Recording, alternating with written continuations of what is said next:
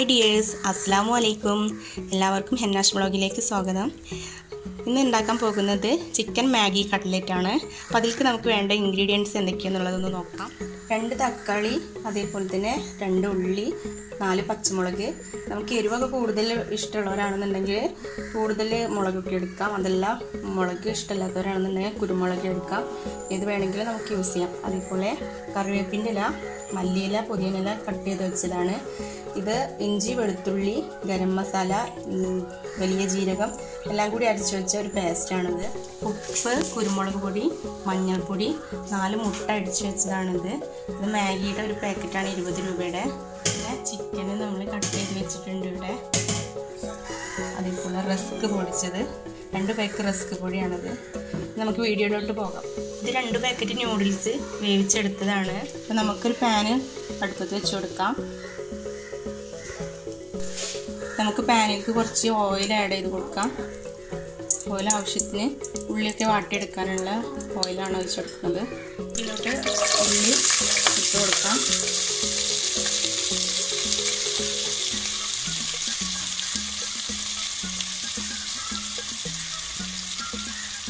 അതിന്റെ കൂടെ തന്നെ പച്ചമുളക് നമുക്ക് ആഡ് ചെയ്ത് കൊടുക്കാം. കാരണം പച്ചമുളക് നന്നായിട്ടൊന്ന് അതിന്റെ കൂടെ മിക്സായി എരിവൊക്കെ പിടിച്ച് വഴണ്ടി വരാൻ വേണ്ടിയിട്ടാണ്. ഇതിലോട്ട് നമ്മളൊരു അര ടീസ്പൂണ് ഉപ്പ് ആഡ് ചെയ്ത് കൊടുക്കാം. നമുക്ക് നന്നായിട്ടൊന്ന് എല്ലാ ഭാഗത്തും ഉപ്പ് എത്തുന്ന രീതിയിൽ മിക്സ് ചെയ്തിട്ട് ബ്രൗൺ കളർ ആവുന്ന വരെ ഒന്ന് ഇളക്കി കൊടുക്കാം. ഇത് ലൈറ്റ് ബ്രൗൺ കളറായിട്ട് വന്നിട്ടുണ്ട്. അപ്പോൾ നമുക്ക് ഇതിലേക്ക് തക്കാളി ഇട്ട് കൊടുക്കാം.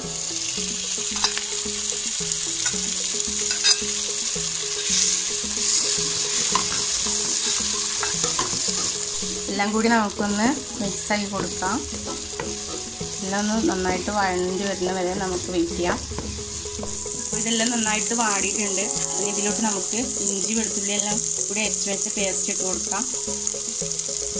പിന്നെ അതേപോലെ തന്നെ മല്ലിയില പുതിനെല്ലാം കൂടി കട്ട് ചെയ്ത് വെച്ചതും കറിവേപ്പിന്റെ ഇല എല്ലാം ഇതിലോട്ട് ഇട്ട് കൊടുത്തിട്ട് നന്നായിട്ടൊന്ന് മിക്സ് ചെയ്ത് കൊടുക്കാം.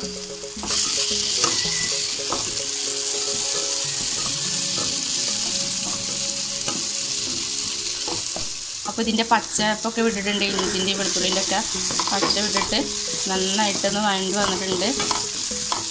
സ്മെല്ലെല്ലാം മാറി വരുന്നുണ്ട് ഇപ്പോൾ അതിലോട്ട് നമുക്ക് അര ടീസ്പൂണ് മഞ്ഞൾപ്പൊടി ഇട്ട് കൊടുക്കാം. ഇതേപോലെ അര ടീസ്പൂണ് കുരുമുളക് പൊടി നന്നായിട്ട് ഇളക്കി കൊടുക്കാം. എല്ലാ ഭാഗത്തും നിൽക്കുന്നവരെ ഇളക്കി കൊടുക്കാം. പിന്നെ വേണ്ടത് നമുക്ക് ചിക്കന്റെ കഷ്ണങ്ങൾ ഇട്ട് കൊടുക്കാം. കട്ട് ചെയ്ത് വെച്ചിട്ടുള്ള ചിക്കന്റെ കഷ്ണങ്ങൾ ഫുള്ളായിട്ട് അതിലോട്ട് ഇട്ട് കൊടുക്കാം. ഒന്ന് ഫ്രൈ ആയി വരുന്ന വരെ വെയിറ്റ് ചെയ്യാം. അപ്പോൾ ന്യൂഡിൽസ് ഉണ്ടാക്കിയത് ഇതിന്റെ ബാക്കി വെള്ളമാണത് അത് ഞാൻ അതിലേക്ക് ആഡ് ചെയ്ത് കൊടുക്കുന്നുണ്ട് കാരണം അത് ഇറച്ചി കഷ്ണങ്ങളൊക്കെ നന്നായിട്ട് വേവണം. അപ്പോൾ നമുക്ക് ഇത്തിരി വെള്ളത്തിന്റെ ആവശ്യത്തിൽ വരുന്നുണ്ട്. ന്യൂഡിൽസിന്റെ വെള്ളം ഇല്ലയെന്നുണ്ടെങ്കിൽ കുഴപ്പമില്ല. നമുക്ക് വെള്ളം അതിന്റെ ആഡ് കൊടുത്താലും മതി.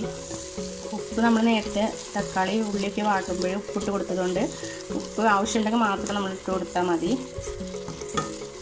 ഇനി ഇതിന് മൂടി വെച്ചിട്ട് നമുക്ക് കുറച്ച് നേരം വെയിറ്റ് ചെയ്യാം. നല്ല ഓഫ് ഫ്ലെയിമിലാണ് തീ വെച്ചിട്ടുള്ളത്. ലോ ഫ്ലെയിമിൽ ഇട്ടാൽ മതി. കാരണം അത് അടി പിടിക്കും. അതിൽ ഒരുപാട് വെള്ളമൊന്നും നമ്മൾ ആഡ് ചെയ്ത് കൊടുക്കുന്നില്ല. ഈ പാനലാവുമ്പോൾ അടിയിലെല്ലാം പെട്ടെന്ന് പിടിക്കുന്നില്ല പിന്നീട് ഞാൻ ഇത് അടച്ചു വയ്ക്കുമ്പോൾ അതിന്റെ നീരാവിയൊക്കെ അതിലേക്ക് നന്നായിട്ട് ഇറങ്ങി ചെല്ലും. അതുകൊണ്ട് കൂടുതൽ വെള്ളത്തിന്റെ ആവശ്യം വരുന്നില്ല. അപ്പോൾ നമുക്കിതൊന്ന് തുറന്ന് നോക്കാം. ചിക്കന്റെ കഷ്ണങ്ങളൊക്കെ വെന്തിട്ടുണ്ടോ. എന്നൊന്ന് ചെക്ക് ചെയ്ത് നോക്കാം. ഇളക്കി കൊടുക്കാം. വെള്ളമെല്ലാം അത്യാവശ്യത്തിനുണ്ട്. ഇനി എക്സ്ട്രാ വെള്ളമൊന്നും വയ്ക്കേണ്ട ആവശ്യമില്ല. അപ്പോൾ ചിക്കന്റെ കഷ്ണം ഒന്നുകൂടി വേവാനുണ്ട്. കുറച്ചുകൂടി നേരം നമുക്ക് വെയിറ്റ് ചെയ്യാം.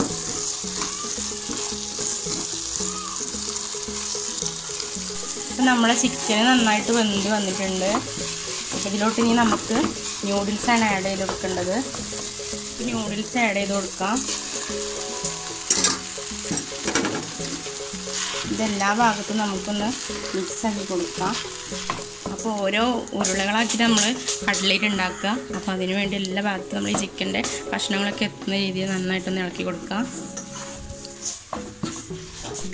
അപ്പോൾ ഇത് നമുക്ക് ഫ്ലെയിം ഓഫ് ചെയ്തിട്ട് ഫ്ലെയിം ഓഫ് ചെയ്ത് ഇത് ചൂടാറാൻ വേണ്ടിയിട്ട് വെക്കാം. ചൂടാറിയിട്ട് വേണം നമുക്ക് ഇത് ഓരോ ഉരുളാക്കിയിട്ട് കട്ട്ലേറ്റ് ഉണ്ടാക്കാൻ അപ്പോൾ ഞാനൊരു പാൻ അടുപ്പത്ത് വെച്ച് കൊടുത്തിട്ടുണ്ട്. അതിലോട്ട് ഓയിൽ ഒഴിച്ച് കൊടുക്കാൻ പോവാണ്. ആവശ്യത്തിന് പൊരിച്ചെടുക്കാൻ വേണ്ട ഓയിൽ ഒഴിച്ചു കൊടുക്കാം. ഓയിൽ നന്നായിട്ട് ചൂടാവണ വരെ നമുക്ക് വെയിറ്റ് ചെയ്യാം. ചൂടാവാതെ ഇടരുത്. നമ്മൾ കട്ലേറ്റ് പൊടിഞ്ഞു പോകും. നന്നായിട്ട് വെളിച്ചെണ്ണ ചൂടായതിന് ശേഷം ഇട്ട് കൊടുത്താൽ മതി. അതേപോലെ നമ്മളെ മുട്ടയിൽ ഞാൻ നേരത്തെ തന്നെ ഇത്തിരി ഉപ്പിട്ട് അടിച്ച് വെച്ച മുട്ടയാണത്. ഇത് ഞാൻ ഓരോ ഉരുളകളാക്കിയിട്ട് വെച്ചതാണ്. പെട്ടെന്ന് എടുത്ത് ഉപയോഗിക്കാൻ വേണ്ടിയിട്ട്. നമുക്ക് വെളിച്ചെണ്ണ ചൂടായിട്ടുണ്ടോന്ന് നോക്കാം. നന്നായിട്ട് ചൂടായി വന്നിട്ടുണ്ട്.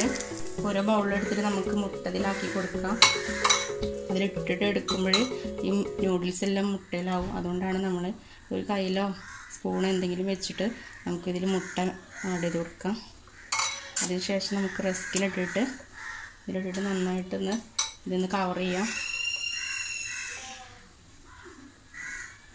നല്ല ഷേപ്പിലായി കൊടുക്കുക കട്ട്ലേറ്റിന്റെ ആ ഷേപ്പിൽ നമ്മളൊന്ന് ആക്കി കൊടുക്കാം. ഒന്ന് ഇട്ട് കൊടുക്കാം.